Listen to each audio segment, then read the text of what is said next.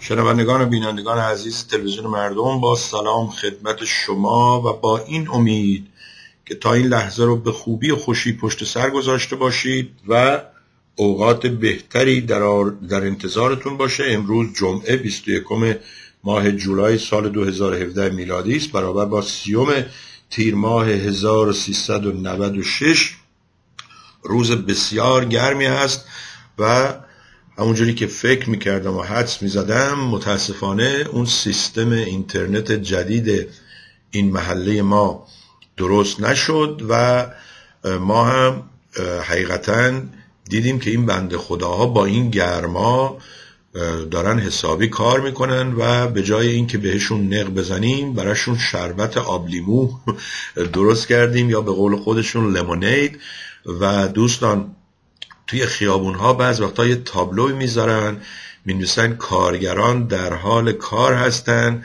و شما یه کمی بهشون بریک بدین. این بهشون بریک بدین یعنی بابا دیگه خیلی نق نزنین که چرا حالا خاک هست چرا اینجا تابلو درست نیست چرا باید یواش بریم. این بنده خداها سعی و تلاش خودشون رو می‌کنن و ما هم باید باشون همراهی کنیم تا به اصطلاح اون مشکل برطرف بشه.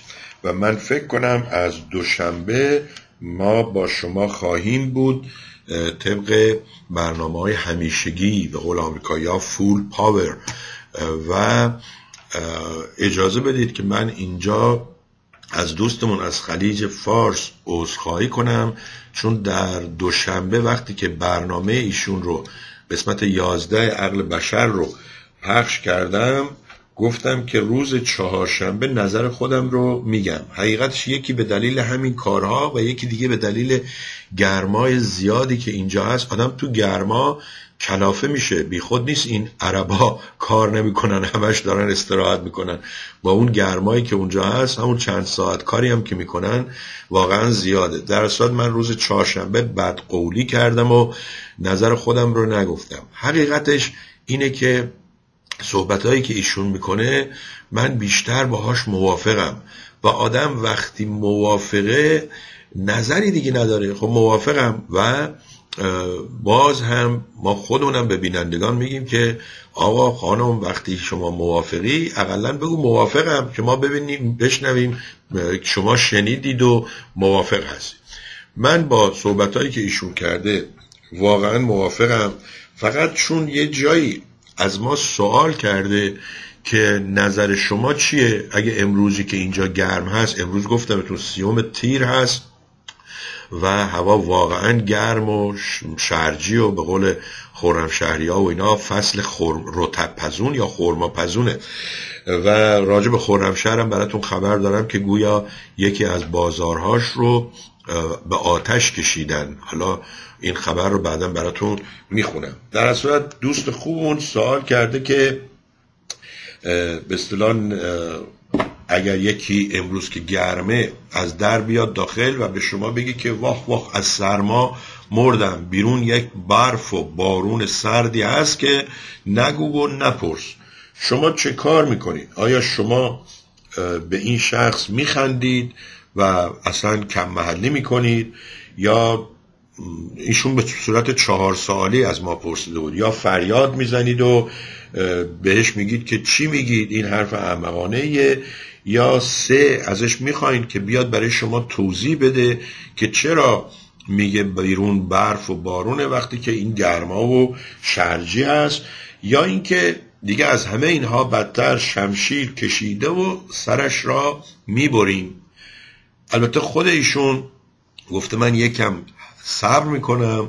بعد نظر به اصطلاح میگم که حدس می‌زنم فکر نمی کنم شما سر طرف رو با شمشیر ببرید. بله شما کاملا درست می‌گویید می‌گویید میگید و این فقط کار دیکتاتورها و احمقها هست که مخالفین گفته خودشون رو. حتی اگه گفته خودشون درست باشه و حتی اگر مخالفینشون نادرست بگن اینها نباید اونها را از بین ببرن نباید بکشن ولی متاسفانه این کار را انجام دادن و جان مخالفین رو می‌گیرن و ایشون دنباله برنامهش توضیح میده که اون آقای سلماسی که قهرمان ورزش میشه و بعد همون آقا میاد میگه شاه عشقش به شاه اینقدر بوده میگه شاه اگه کمونیست بشه منم میرم کمونیست میشم. خب این نشون دهنده حماقت یه شخصه که با خاطر عشق و علاقه به یه نفر حتی اگر اون اشتباهی بکنه یا حتی اگر کاری بکنه که با نظر این دو خوب نباشه این دنبالش را بیفته. و متاسفانه این تو جهان دیدیم و هر روز هم باز شاهدش هستیم. و ایشون در دنبال برنامه سوال می‌کنه. شما نام یک حاکم را ببرید که تا حالا به اصطلاح تا امروز تا این زمان مخالف خود را تحمل کرده باشه و سعی نکرده باشه اون را از بین ببره. بعضی وقتا حتی اینها چون تلاش می‌کنن که مخالفین خود را از بین ببرن این تلاش باعث میشه که خودشون خانوادهشون از بین برن. و ایشون یه سالی رو انجام یه سالی رو می‌پرسه که من هم بارها پرسیدم. مگر خدا خودش زور و قوت و به اصطلاح نیروی کافی نداره که شما می‌خواین به جای خدا عمل کنید؟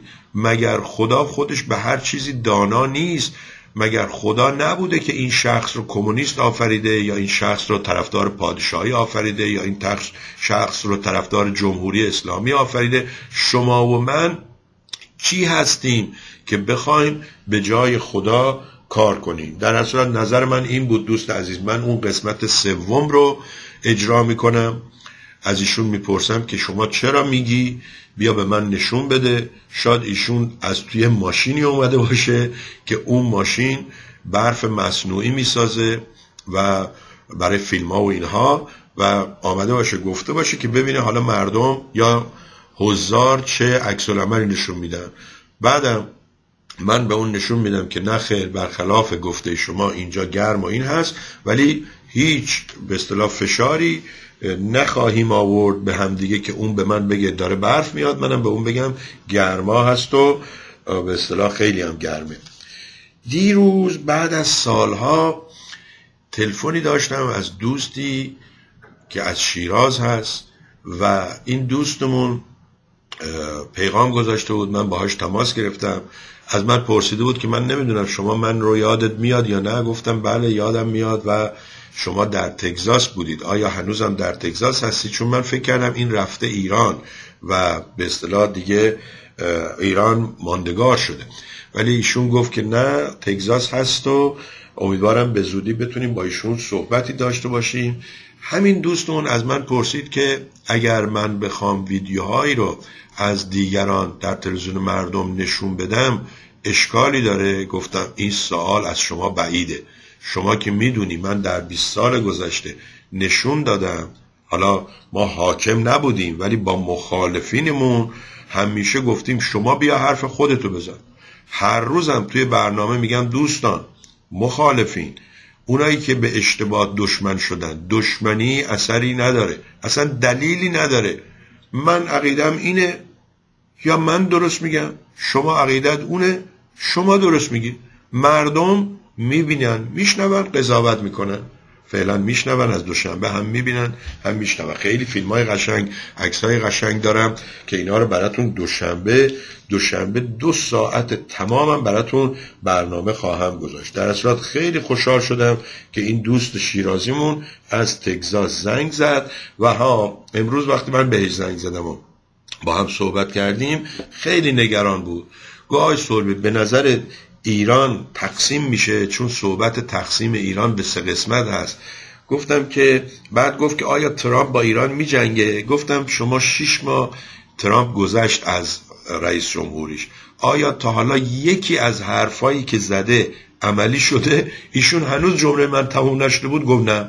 گفتم ببین ایشون گفت من سی روزه جنرال ها رو جمع می‌کنم و ISIS رو از بین می‌برم. شیش ماه گذشته ISIS که هنوز قدرت داره و این ور داره پخش میشه و خیلی جالبه. یه شهری رو وقتی خالی می‌کنن اتوبوس میارن ISIS سوار می‌کنن می‌برن یه جای دیگه. حالا که چپ و راست هی دارن می‌نویسن ISIS. بعضی از سرانش اسرائیلی هن. اصلا طرف کلیمیه دروغ راست. من نمی‌دونم دوستان اینا رو اینترنت.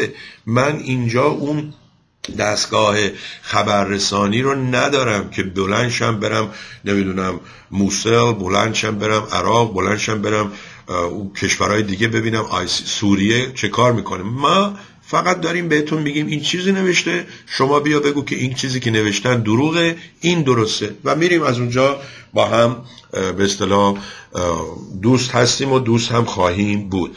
من سعی می‌کنم دوشنبه وقتی که این سیستم ما به حالت معمولی برگرده با یکی از دوستان که قبلا دوست ما بوده. حالا اگه بعد مخالف شده من نمی‌دونم چرا حماقت می‌کنه و دشمنی می‌کنه. پیام می‌ذاره فوش میده توهین می‌کنه ناسزا میگه. من با این زنگ می‌زنم تلفنی یا حتی اگه خواست با اسکایپ صحبت می‌کنم و به ایشون مجانی برنامه میدم که دوستان مخالفت خودش رو به من در برنامه سوربی با مردم اعلام کنه و شما نظر بدید که ایشون حق داره یا من. این هم از این ماجرا. و اما بله در رابطه با سه قسمت کردن ایران و اینها سالهای سال است دنباله اون ماجرای کمربند سبز آقای برژنسکی و اون یکی دیگه کی بود که چیز وزارت امور خارجه آمریکا بود و اینها. در هر صورت اینا بوده و من فکر نمی کنم اتفاقی بیفته. مصاحبه آقای جواد ظریف رو با آقای چارلی روز ببینید که برای دوازدهمین بار با ایشون مصاحبه کرده و این برنامه رو من براتون بعد از برنامه آقای ارشاد می‌ذارم و اگه کسی خواست این رو حمایت کنه بارها گفتم شما پنج روز پرداخت کنی ما برات هفت روز پخش می‌کنیم. این آمریکا اینجوریه. میگه شما پول سه تا پپسی بده ما چهار تا بهت میدیم. ولی اگه یکی بخری یکی بهت میدن. و در صورت آقای ظریف میگه که ما ایرانی ها سالهای سال به هیچ کسی تعرض نکردیم وایستادیم در مقابل تمام به اصطلاح نامردمی ها تمام ظلم و ستم ها تمام تحریم ها و این کشور باقی خواهد موند. توی صحبتاش یه حرفی می‌زنه میگه ما ایرانیا یا کشور ایران یا حکومت آخونده ما نمی‌خوایم سوپر پاور یا قدرت بزرگی در منطقه باشیم و به قدرت های بزرگ هم میگیم که دیگه دوره قدرت بزرگ بودن گذشته. و میگه به عربستان سعودی هم میگیم که عربستان سعودی شما پولات بیخود داری خرج می‌کنی میدی به آمریکا اسلحه و اینها. برو این پولا رو بخر وسایل رفاهی و نمی‌دونم چیزایی که اون شیخ محمد بس که تو دوبه این کار می‌کنه.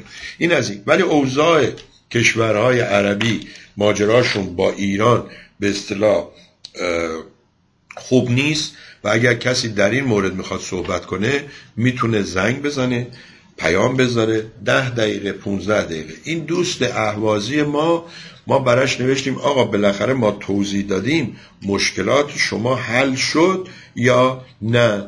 و ایشون جوری که نوشته من حقیقت متوجه نشدم. به شوخی هم نوشته اهلا و سهلا.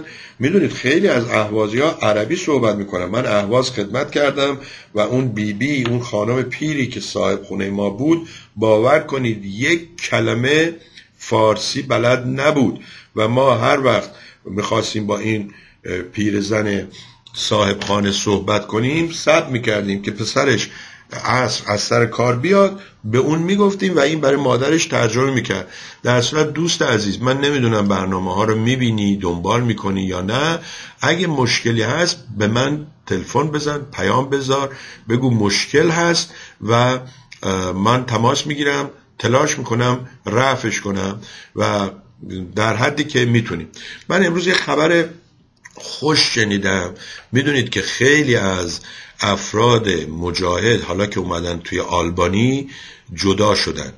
شنیدم که آقای محمد جواد نوروزی که من با برادرزاده ایشونم مصاحبه کردم ایشون هم خودش رو به اصطلاح از سازمان مجاهدین جدا کرده.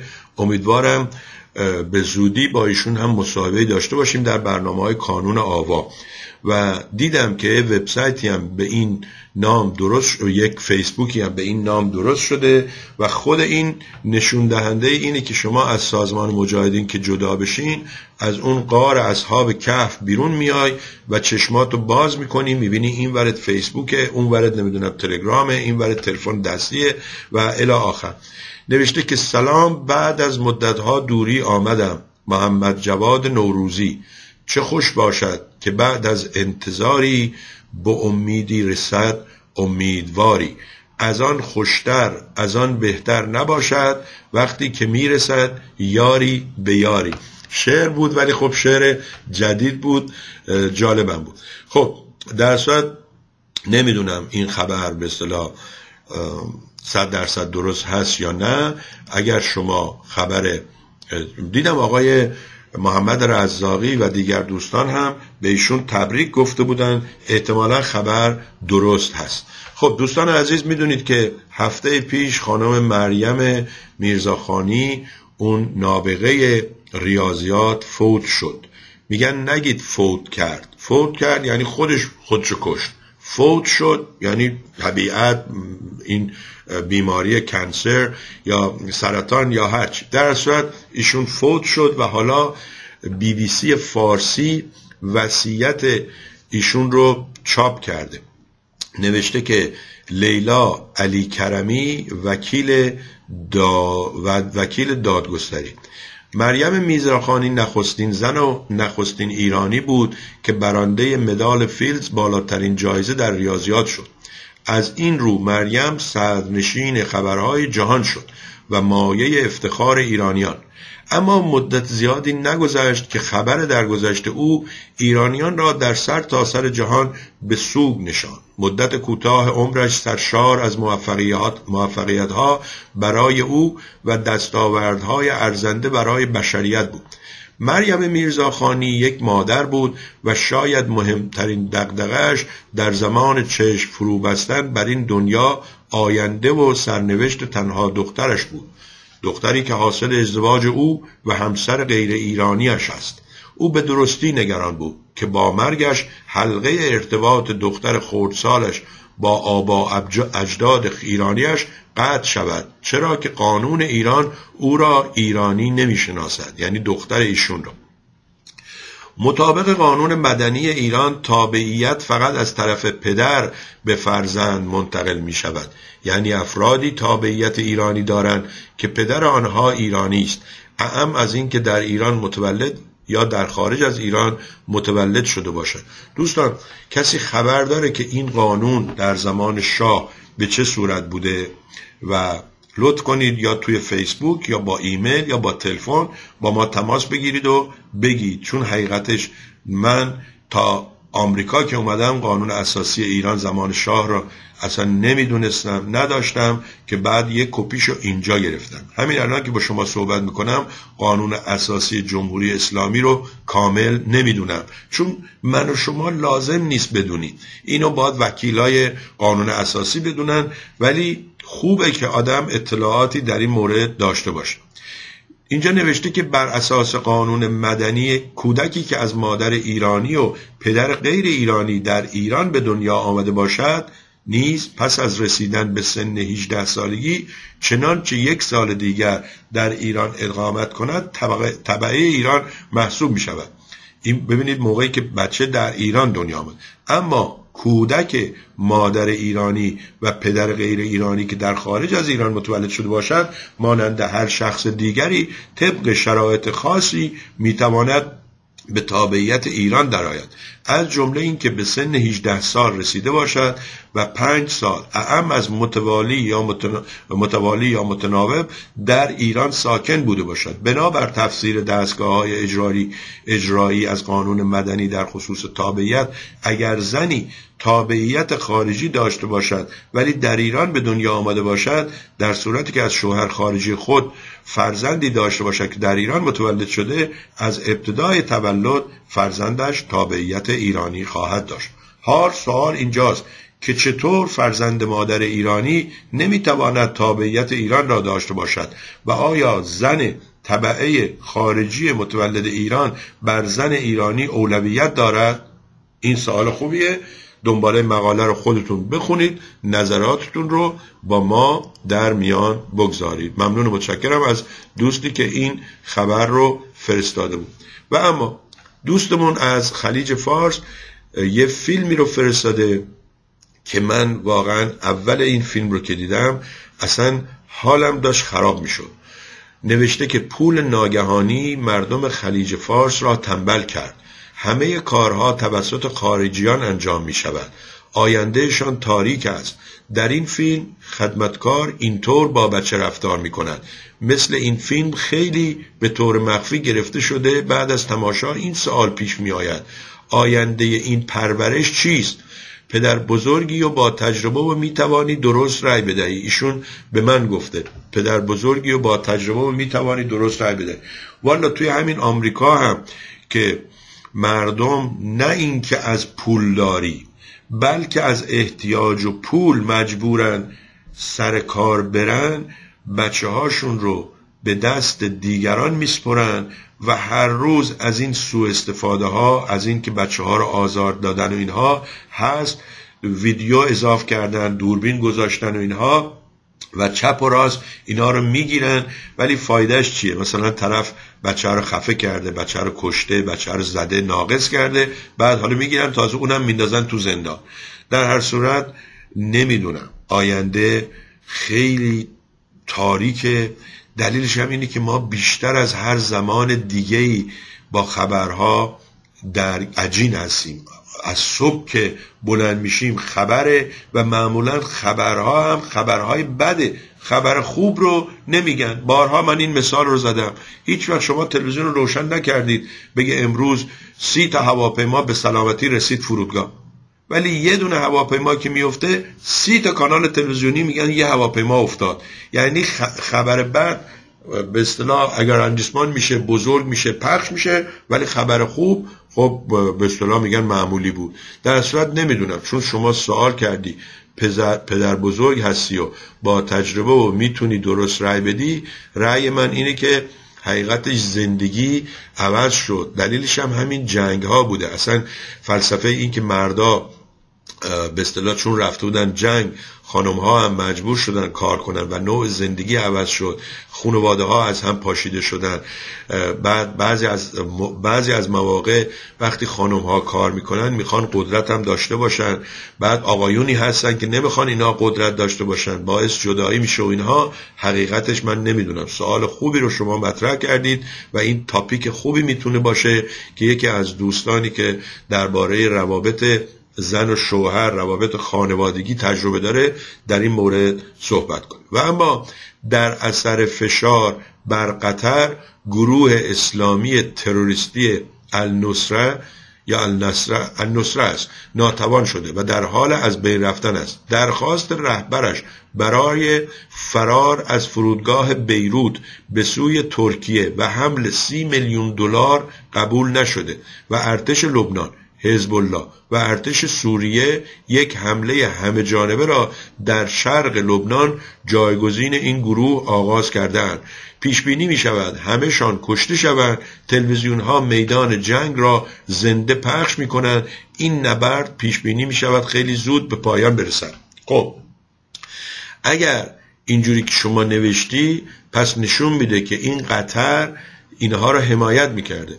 همونجوری که ایران هم یه سری از اینا رو حمایت می‌کنه. آقای آل احمد برای من یه چیز فرستاده بود که آقای ظریف گاف داده در مصاحبه با فرید زکریا گفته که اینها ایران تروریستا و اینها رو حمایت می‌کنن و پول میدن. گفتم آقا اینجوری نگفته. این میگه گروه هایی که شما میگید تروریست همشون تروریست نیستن. آمریکا هر کسی رو باهاش مخالف باشه مثل دوستان شاهلایی مثل دوستان مجاهد هر کسی رو با نظرشون مخالف باشه به شما میگن معمور جمهوری اسلامی. آقا من معمور جمهوری اسلامی نیستم ولی با مجاهدی که پنجاه سال 120 هزار تا کشته داده و به هیچ جا نرسیده مخالفم. آقا من معمور جمهوری اسلامی نیستم ولی با شاه اللهی با حکومت پادشاهی که پنجاه و هفت سال پدر و پسر قدرت داشتن بعد به آخوند منتهی شد موافق نیستم. حق دارم یا ندارم؟ یا شما هم مثل جورج بوش می‌خواین احمق باشید و بگید یا با منی یا بر من؟ بر من یعنی با من میجنگید. نه آقا من نه با تو هم اگه با تو باشم که باید احمق باشم. نه با تو می جنگم چون با دشمنی با تو هم با احمقه. اصلا کاری به کارت ندارم. اینم از این ماجرا. و حتما بعد از برنامه من و برنامه آقای حسن ارشاد که 139 مین برنامهشون رو در تلویزیون مردم اجرا می‌کنن این فیلم آقای جواد ظریف با آقای چارلی روز رو ببینید. اونهایی هم که انگلیسی متوجه نمیشن از دوستشون سوال کنن یا یه جایی پیدا کنن متنشو. به نظر من آقای ظریف خیلی قشنگ صحبت می‌کرد. و جالبه یه دوست کلیمی یا یهودی هست توی تلویزیون های کالیفرنیا هم هست. ایشون آمده بود نوشته بود که یقه آخوندی و دکمه های سردست ظریف اینها به هم نمی‌خونه. گفتم اولا این یقه آخوندی نیست. آخوند یقه ای نداشته. این یقه فرنچ فرانسویه. حالا شماها یا آخوند چه اینو برداشته؟ اون دیگه بماند. من. دوست عزیز شما که کلیمی هستی شما که یهودی هستی یه نگاهی من این رو می دوشنبه این عکسای کلیمی ها رو بهتون نشون میدم که یه تیکه چرمی مثل یه مکعب میبندن به سرشون. دستشون رو با چرم میبندن. اون کلا رو می‌ذارن سرشون. موهاشون رو گیس میبافن میاد. یه شالی هم به کمرشون میبندن. بابا دیگه ببخشید. هر کی میگه نون و پنیر دیگه من نمیگم شما برو سرتو بذار زمیر بمیر ولی اقلا ساکت باش دیگه. دین لباسش همینه. مذهب یهودی اونجوری لباس میپوشه این یکی اینجوری لباس میپوشه اون مسیحی اونجوری لباس میپوشه. هر کی از دین آزاد شده مثل آدم لباس میپوشه. هر کی تو دین گرفتاره چون دین هست که بهت دستور میده چی بپوش چی بخور چی بگو کجا برو چه کار بکن و الی آخر. و تازه جالب اینه که این دین ها با وجودی که همشون میگن یک خدا داریم ولی گفته هاشون با هم فرق می‌کنه. و اون دوستمون چقدر قشنگ گفت گفت که اینها مخالفین خود رو می‌کشن بدونی که بدونن خب اگر تو به خدا معتقدی خدا می‌تونه یه کار انجام بده. من امروز دوستان می‌خوام تعریف کنم از خانواده پهلوی. بله نه گرما زده شدم نه دیوونه شدم. ما هر چیزی که خوبه میگیم خوبه هر چیزی که بده میگیم بده. البته به نظر خودمون. و شما هستید که قضاوت می‌کنید. امروز در خبرها خوندم که دختر رضا پهلوی خانم نور پهلوی. شروع کرده به کار مدلینگ. این مدلینگ اینجا میگن مدلینگ. این بعضی وقتا خودت اول پول میدی عکس می‌گیری پروفایل درست می‌کنی پورتفولیو نمی‌دونم درست می‌کنی فلان. بعد اگر موفق بودی راه افتادی و الا وقتی میری تو تمام این مال ها همه بهت میگن بله دختر شما مدله. برای که 1500 دلار ازت بگیرن عکس بگیرن.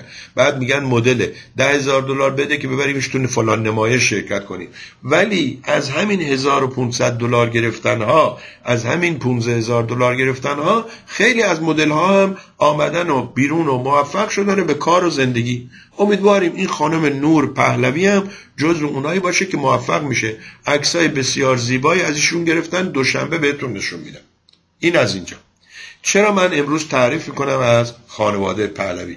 بالاخره بعد از سی و نه سال یکیشون پیدا شد که بفهمه این پادشاهی دیگه مرده. من دختر پادشاه آینده و علی عهد و فلان نیستم. بره دنبال کار و زندگی و از اون کار پول در بیاره. به وسیله این کار با مردم عادی در رفت آمد باشه و بلکه اینها خودشون رو از تافته جدا بافته جدا کنن و به مردم بپیوندن. من صمیمانه به خانم نور پهلوی دختر رضا پهلوی تبریک میگم. امیدوارم رضا پهلوی هم مثل دخترش یه روزی به اون فهم و شعور برسه که آقا گیرم پدر تو بود پادشاه. شما خوردی بردی استفاده کردی. بیا به مردم بگو که اشتباه کرده پدر من. اینجوری بوده و من از امروز می‌خوام برم مثل یک آدم معمولی. هی دروغ نگو بگو من شهروندم. اینم هم تبریک من هم پیشنهاد من. یه بار دیگه تبریک میگم به خانم نور پهلوی. امیدوارم در راه مدل شدن و اینها پیشرفت کنه. امیدوارم در اون چاله های سیاه مدلینگ اعتیاد نمی‌دونم اون چیزایی که از لحاظ خورد و خوراک غذا و اینها مقصد چون امه ایشون دوستان عکس امه ایشون رو نگاه کنید اینها گویا می‌خوان لاغر باشن خوراک می‌خورن نمی‌دونم یه کارایی می‌کنن استفراغ کنن و فلان اینها. امیدوارم توی اون چاله های سیاه اسیر نشه و مدل موفقی باشه بعد بتونه یه برنامه تلویزیونی بگیره تو تلویزیون های آمریکایی و موفق باشه.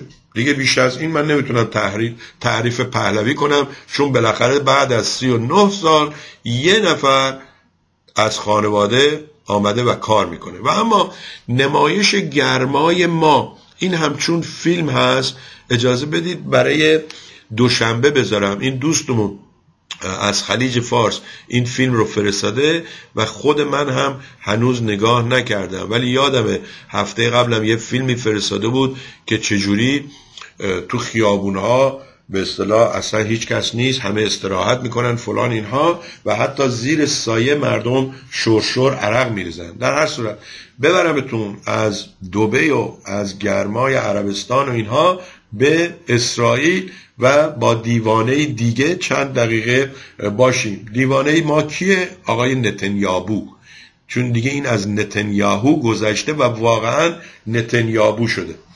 میکروفون روشن کار دست نتنیاهو داد.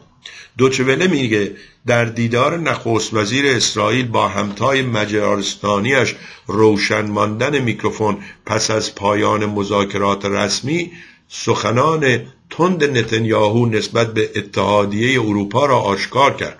او عملکرد این اتحادیه در قبال اسرائیل را دیوانگی خواند.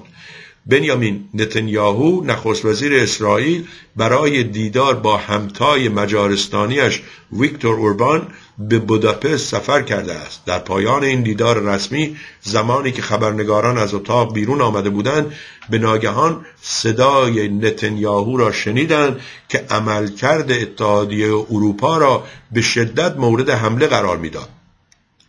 به گزارش روزنامه اسرائیل هاراتس یا هارتس فکر هارتس هست و پورتال خبری پنیت و خصوص وزیر اسرائیل خطاب به اوربان گفته است اتحادیه اروپا روابط خود با اسرائیل را مدام به پیشبرد مذاکرات صلح با فلسطین مشروط می کند و این یک دیوانگی است. او خبر نداشت که تا ساعتی دیگر همه جهان از این اظهارات مطلع خواهند شد.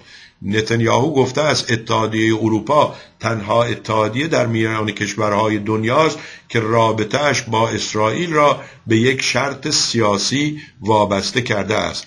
نتیجه یعنی چی دوستان؟ یعنی آقای نتانیاهو دروغ میگه. طرفدار دوستی و صلح و آتش بس و به رسمیت شناختن فلسطین نیست و در ظاهر بعضی وقتا میگه که ما هستیم ولی در باطن همینجوری که این تلویزیون رو این میکروفون روشن بوده دروغ میگه.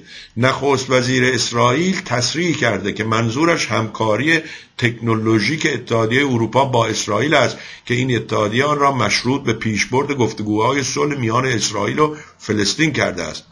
او همچنین تاکید کرده که اتحادیه اروپا با این تصمیم دیوانوار توسعه و شکوفایش را به خطر انداخته. او ادامه داده.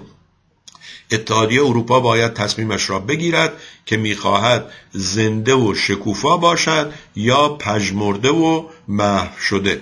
در این گفتگوی فاش شده بنیامین نتانیاهو درباره حملات ارتش اسرائیل به مواضع حزب الله لبنان و کاروانهای ارسال کمک به این گروه نیز صحبت کرده و گفته است من به پوتین رئیس جمهور روسیه گفتم اگر ما ببینیم که ایران به, به حزب الله اسلحه میرساند ما حمله می‌کنیم. این کار را بارها کرده ایم اسرائیل معمولا درباره این حملات موزگیری آشکاری نمی کرده است. اینم از این ماجرا. این ماجرای تلفن روشن میکروفون روشن بوده و این بودن تا حالا بارها اتفاق افتاده. مخصوصا سران کشورهای به اصطلاح بزرگ وقتی این برانور هستن حتی توی دستشویی میرن بعد که با هم صحبت می‌کنن اینها این اتفاقا میفته و خیلی به اصطلاح از اینها براشون دردسر ایجاد شده. حالا ببینیم که دردسری برای آقای نتینیاهوی دیوانه واقعا دیوانه اتفاق میفته یا نه. بازار صفای خرمشهر توسط افراد ناشناس با آتش کشیده شد. خب وقتی که پلاسکو میسوزه اونجوری معلومم نشد آخرش چی بوده ماجرا. حالا بیان دیگه خود مردم یا یه سری یه گروهی یه دسته ای بیان به اصطلاح آتش بزنن. دوستان یه فیلمی رو کانون آوا امروز پخش کرد به نام ماجرای نیمروز. این فیلم رو تا هفته آینده هم هر روز در تلویزیون مردم پخش می‌کنیم. شما این فیلم رو ببینید. نظرات موافق و مخالف بسیار هست. اتفاقا به این دوست شیرازیمون گفتم که ببین من الان که با شما صحبت می‌کنم نیم ساعت دیگه ساعت دوازده یه فیلمی رو از کانون آوا پخش می‌کنم. نظرات مخالفم هست. شما می‌تونی اون مخالفینشو برای من بفرستی بگی آقا اینو پنج روز ده روز یه ما پخش کن. ما یادتونه یه فیلمی بود به نام گیرم گلاب تو گلاب قمسر است. چه حاصل که نمی‌دونم از گلهای پرپر است. اینو یه دوستی گفت آقا یک ما برای ما پخش ما پخش کردیم. دوستان من این روزا که برنامه به خاطر این اشکالات اینترنت و اینها یک ساعت چل دقیقه. حالا گیرم که دو ساعته. گیرم که سه روزی هم که با شما هستم دوشنبه چهارشنبه جمعه خودم دو ساعت تمام صحبت کنم. باز میشه 6 ساعت در یک هفته. یعنی اگر هر روز بخواین حساب کنید از یک ساعت کمتر من برنامه دارم. کانون آوا دو ساعت در هفته برنامه داره. شماها می‌تونید باقیه ساعت ها رو بیاین. آقا تبلیغ پادشاهی کنید. بیاین تبلیغ کمونیستی کنید. بیاین تبلیغ مجاهدین کنید. تا ببینیم 38 سال به کجا رسیدید. با این تبلیغ ها به کجا خواهید رسید؟ در اصل به این دوستان گفتم آقا بنده با هیچ کس اشکالی نداشته ندارم نخواهم داشت. اونها هستند به خاطر کل شقی به خاطر خود بزرگبینی به خاطر دیکتاتور بودن با من اشکال دارن. یادم پار... آقای فرهاد پارسی بود. چند سال پیش من گفت آقا شما با آقای کوروش ارفانی و آقای دکتر افتخاری کار می‌کنی؟ گفتم بله من با هر کس شما بگی کار می‌کنم. ولی حالا شما ببینید خود همین کوروش عرفانی با اون دکتر افتخاری دیگه کار نمی‌کنن حالا اون آقای پارسی هنوز به اینا پول میده نمیده تلویزیونو اون براشون میچرخونه من نمی‌دونم. دوستان اینها اشکال دارن. اگه اشکال نداشتن به جای بمب درست کردن و دستور بمب درست کردن و دستور آتش سوزی نمی‌دونم اینور و اونور باید تا امروز می‌تونستن یک حزبی رو یک گروهی رو حالا چه سیاسی چه اجتماعی را بندازن به به صورت گراس روت گراس روت یعنی ریشه ای از پایه مثل اون کاری که آقای اوباما کرد. و به همون خاطر رئیس جمهور شد. البته ناگفته نماند. اوباما اگر این کورپوریشن های بزرگ پشتش نبودن غلط می‌کرد که رئیس جمهور بشه. کشور آمریکا هنوز تحمل رئیس جمهور شدن یک زن رو نداره. می‌تونست رئیس جمهور شدن یک سیاپوست رو ببینه؟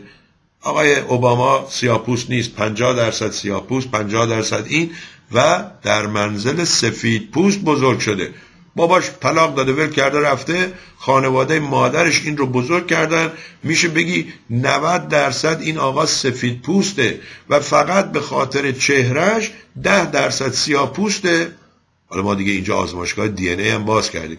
بعد تازه به خاطر اینکه به سفید پوستان نشون بده که من به شما ارادت دارم دیدید از جورج بوش بیشتر آدم کشت از جورج بوش بیشتر خارجی ها رو اخراج کرد و هر کاری که شما بگید این آقای اوباما بدترش رو انجام داده اینم برای دوستانی که دوستانی, دوستانی که طرفدار آقای ترامپ هستن. دوستان ماجرای ترامپ خیلی خندهدار شده. کسی که ادعا می‌کرد روز اول مشکل بیمه های خدمات درمانی رو حل می‌کنه. کسی که ادعا می‌کرد سی روز آیسیس از بین می‌بره دیروز بعد از شیش ماه می‌دونید بزرگترین سوالش از وکلاش چی بوده؟ من چجوری می‌تونم خودم و خانوادم رو در این دادگاه هایی که یکی پس از دیگری دارن میان ببخشم؟ این بخشودگی همون بخشودگی اگه یادتون باشه دوره شاه همین کار می‌کردن شب عید چند تا زندانی رو آزاد می‌کردن. شنیدم دوره خمینی و جمهوری اسلامی هم این کار می‌کردن توی آمریکا بهش میگن پاردن. همون دیدید وقتی یکی به یکی می‌زنه تنه می‌زنه مثلا میگه پاردن می یعنی مرا ببخشید. این کلمه بخشش اف از اونجا میاد. و جالب اینه که رئیس جمهورهای آمریکا چپ و راست دوستان خودشون همکاران خودشون به اصطلاح شالاتان ها رو بخشیدن. خب حالا آقای اوباما اومد این دختر آقایی که زن شده بود اینو بخشید چلسی نمی‌دونم فامیلیش هم نمی‌دونم چی. اون کسی که چلسی منینگ. اون کسی که گزارشات به اصطلاح ارتش آمریکا رو داده بود به ویکیپیدیا. درست میگم؟ بله. در هر صورت آقای ترامپ الان خودش افتاده در یک مردابی که هرچی دست و پا می‌زنه سریعتر میره پایین. همین دیروز دادگاه اعلام کرد که پسر اینشون و دامادش باید بیان دادگاه نه به اصطلاح مجلس باید بیان در مجلس این یعنی استیزا دیگه یعنی ازشون توضیح می‌خوان. و حالا اونایی که ایرانی هستن و امید بستن با آقای ترامپ که آقای ترامپ بره بزنه و بکشه و اینها دیگه ببینید اونها چقدر از دنیا خارج هستن و ای کاش این قرصایی که اینا خوردن یا سیگاری که اینا کشیدن یک کمیشم به ما می‌دادن ما هم می‌رفتیم تو عالم هپرود و فکر کنیم که ناجی انسانیت و بشریت یه شخص دیوانه شالاتانی به نام ترامپ هست. اونم قرن 21 سال 2017 و اما بازار صفای خرمشهر توسط افراد ناشناس به آتش کشیده شد. به گزارش خبرنگار مهر در ادامه حوادث پنجشنبه شب شب خوزستان بازار قدیمی و معروف صفای خرمشهر از سوی افراد ناشناس به آتش کشیده شد. در همین زمینه آتش نشانی خرمشهر اعلام کرد. بازار صفای خرمشهر ساعت ده و چهل و پنج دقیقه شب یا بله پنج شنبه شب دچار آتش سوزی شد. برای مهار آتش سوزی پنج تیم اطفای حریق و یک دستگاه لودر و کمپرسی به محل اعزام شدند. علت این آتش سوزی پرتاب یک شیء آتش زنه زانه نمی‌دونم. توسط افراد ناشناس بود. در این حادثه کسی مصدوم نشد. خب از طرفی ناراحتیم که اون آتش سوزی شده. از طرفی خوشحالیم که اقلا کسی مصدوم نشد. دوستان عزیز این برنامه از تلویزیون مردم به شما تقدیم میشه. امیدوارم مورد پسندتون قرار بگیره. اگه مورد پسندتون نیست می‌تونید تلویزیون های دیگر رو تماشا کنید برنامه های مورد پسندتون رو پیدا کنید اون برنامه رو در تلویزیون مردم پخش کنید. حتی شاید دیگرانی هم که تا امروز عمرشون به وسیله برنامه من تلف شده اونها هم بیان با شما اون برنامه ها رو ببینن. ما اینجا با هیچ کس دعوا نداریم با هیچ کس جنگ نداریم. اخلاقمون فکرمون ممکنه مخالف شما باشه. اون جایی که مخالفه دشمن هم نیستیم. دشمن کسانی هستن که مخالفین احمقن یعنی به خاطر اینکه با کسی مخالفن دشمنی می‌کنن. شما می‌تونی با من مخالف باشی برادر من باشی شوهر خواهر من باشی برادر خانم من باشی پسر عموی من باشی پدر من باشی. مخالف بودن خوبه. مخالف بودن زندگی رو زیبا می‌کنه مخالف بودن مغزها رو به فکر میندازه. منتظر دوستان مخالف هستیم که در تلویزیون مردم برنامه داشته باشن برنامه بذارن تا دیگران هم به اصطلاح تماشا کنن. یه خبر بد دیگه این که امروز در ترکیه و یونان یک زمین لرزه یا زلزله به شدت 6 ممیز هفت دهم ریشتر آمده و تا اونجایی که من خبرها رو دنبال می‌کردم دو نفر توریست کشته شدن و صدها نفر زخمی. گویا این در منطقه یعنی چیزش اون محیط اون چیزاش تا ازمیر و آنتالیا هم رفته. ولی اصل اون ماجرا در یکی از سواحل ترکیه بوده که حتی گویا یونان هم به اصطلاح چیز شده. مثلا تا یونان 13 کیلومتر رفته اونجا چهار و نیم چهار و یک چهار چهار و هفت اینها به اصطلاح لرزیده و اونجا هم رفته. عکس‌ها و ویدیوهای زیادی دارم ولی امروز متاسفانه نمی‌تونم بهتون نشون بدم. شاید دوشنبه. و اما یک ویدیویی هست آخر زمان شده. جنگ خروسی رو با گربه نشون میده و واقعا من دلم برای این گربه سوخت. و به دوستم گفتم متاسفانه امروز نمی‌تونم نشون بدم دوشنبه. ببخشید. خب بله. یکی از دوستان عزیز یک ویدیو رو فرستاده که یک خانم ایرانی جوان در هالیوود استودیوی رقصی درست کردن و جالبه که بذارید من یکم آب بنوشم به سلامتی شما. جالبه که این ویدیو رو دوستمون از خلیج فارس هم فرستاده. و نوشته که این هم آخر تروریست بودن. خب ببینم براتون چیه. میگه که این تظاهر کننده حقیقت را می‌گوید. اسرائیل کشور نیست. یک نیروی استعماری است. هر چقدر در این منطقه مرکز تمدنها بماند آخرش روزی مانند یونانیان و رومی ها مجبور به فرار می شود دوستان این گلوی ما حسابی داره اذیت می‌کنه. این درس این درس و عبرت تاریخ است. میبایست اسرائیل را در سرزمین های خالی از تمدن یا دنیای نو تأسیس می‌کردن. والا ما بارها گفتیم این آمریکا که 50 تا state داره یه state دیگه هم درست می‌کرد. این ایالت نوادا ایالت تگزاس یه جایش هست صحرای برهوت اسرائیلی هم که میگن که فلسطین هیچی نداشت ما اومدیم آبادش کردیم. خب بیان اینجا رو آباد کنن. ضمن که اونم دروغ میگن. شما سرزمین فلسطین و تاریخش رو بخونید از دو هزار سال پیش حتی دیگر کشورها می اومدن کشاورزی و درختها رو به اصطلاح کشاورزی اونجا رو یاد بگیرن و درختها رو از فلسطین می خریدن که ببرن تو کشور خودشون به اصطلاح اونجا هم از این درختها داشته باشن. این دوست ما آقای مهدی تبریزی که هر 26 ما برنامه رو می‌ذاره باز هم برای ما اینها رو فرستاده ولی متاسفانه flyer ی باهاش نیست. جالب اینه که قرارداد قرارداد امضای اون محل رو برای من فرستاده ولی خدا می‌دونه flyer رو برای کی فرستاده. به نظر من آقای مهدی تبریزی باید از دوستان جوان کمک بگیره کارش یه مقداری منظمتر انجام بده. امروز 21 شما 21 وقتی برای مردم میفرستی این تا 26 اونم 26 می که نه ویکند هست و اینها مردم نمی‌تونن بیان. مثلا ایام تابستون مردم برنامه‌هاشون از سال قبل از سه ماه قبل سفر نمی‌دونم تعطیلات بچه ها کلاس های تابستانی. در صورت من فکر کنم یه اشکال بزرگی هست در ترتیب دادن این برنامه ها برنامه ها خیلی خوبه زحمت خیلی می‌کشه. دوستانی میارن موزیک و اینها اجرا می‌کنن ولی برنامه ها سردرگمه.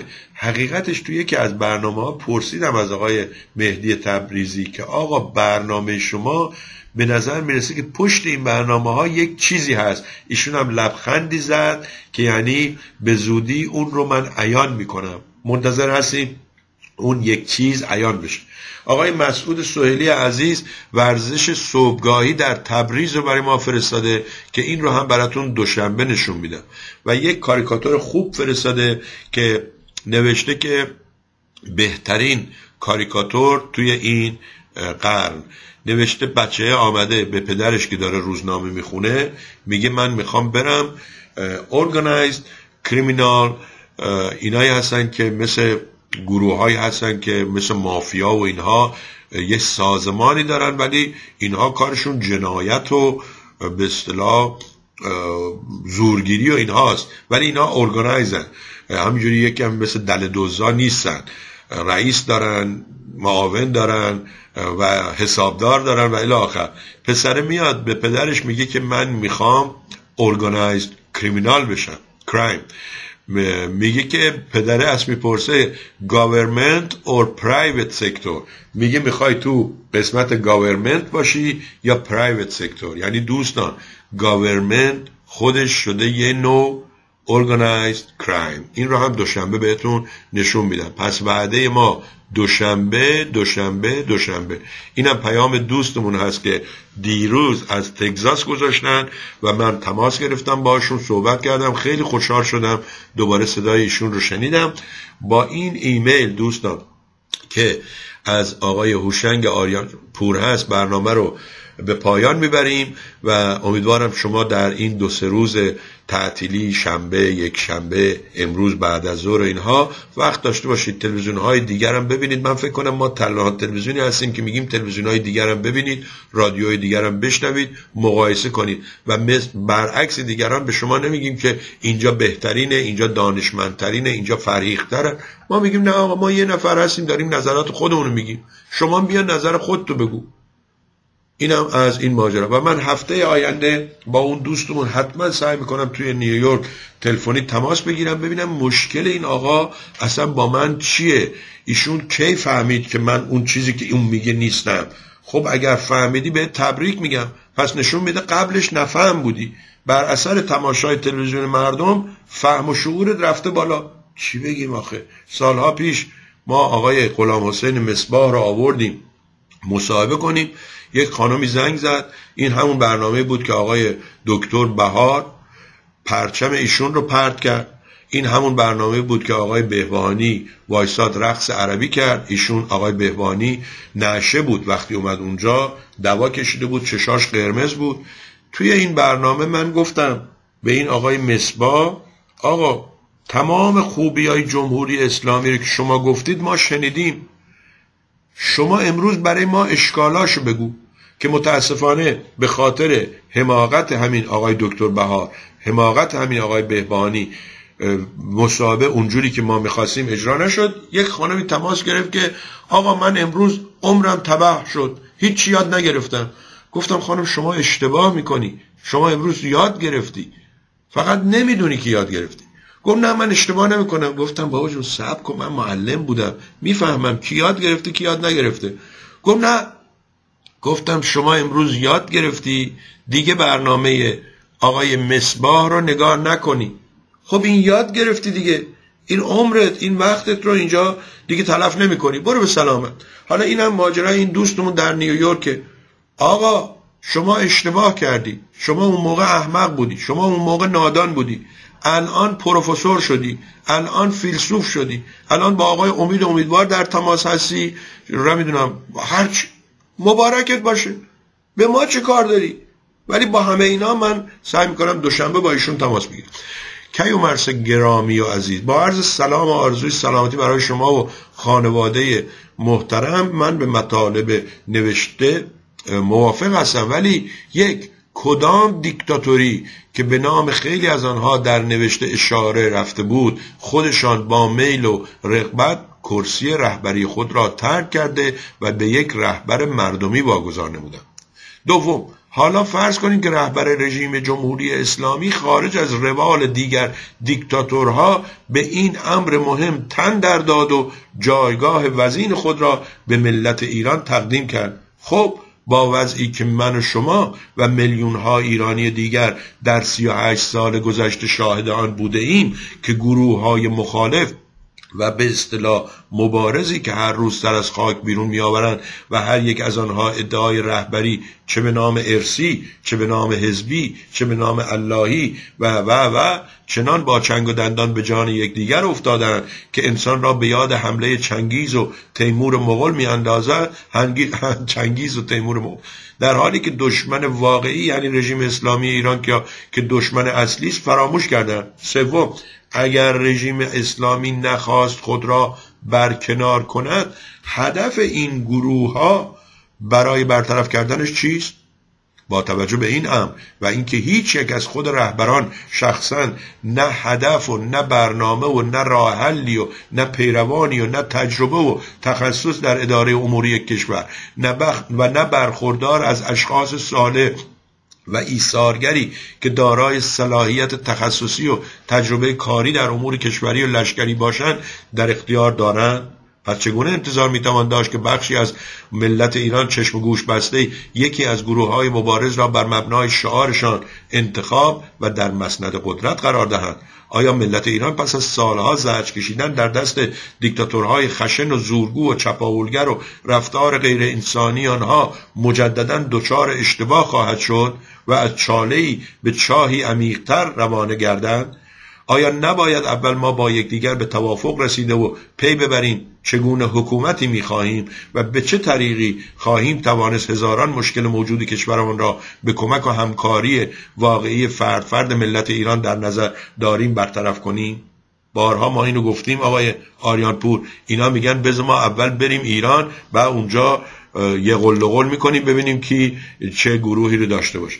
و اما این به خاطر این مقاله بوده که از طلا گشتن پشیمان گشته ایم.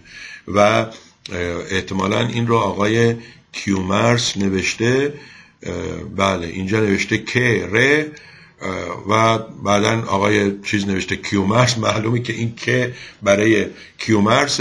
حالا بعد سب کنیم ببینیم رش برای چیه. ولی من فکر می‌کنم کسانی که شهامت نوشتن نامشون رو در زیر نوشته هاشون ندارن کسانی که شهامت نشون دادن عکسشون رو در فیسبوک ندارن. کسانی که شهامت ابراز عقیده رو ندارن بهتره که ساکت بشن. دوستان عزیز اجازه بدین من ببینم چیز دیگه هم هست. اینجا بله مطالب خیلی زیاده ولی من هم گرمای اینجا هم گلودرد و هم این برنامه چیز به اصطلاح اینترنت و اینها یه مقداری حال آدم رو می‌گیره. امیدوارم شما حالتون گرفته نشده باشه و امیدوارم به زودی بتونیم برنامه های دیگر یا برنامه های دیگران را هم در تلویزیون مردم پخش کنیم. باز هم در پاسخ به اون دوستمون نخیر بنده با آقای سیامک ستوده مشکلی ندارم. بنده با آقای کوروش عرفانی مشکلی ندارم.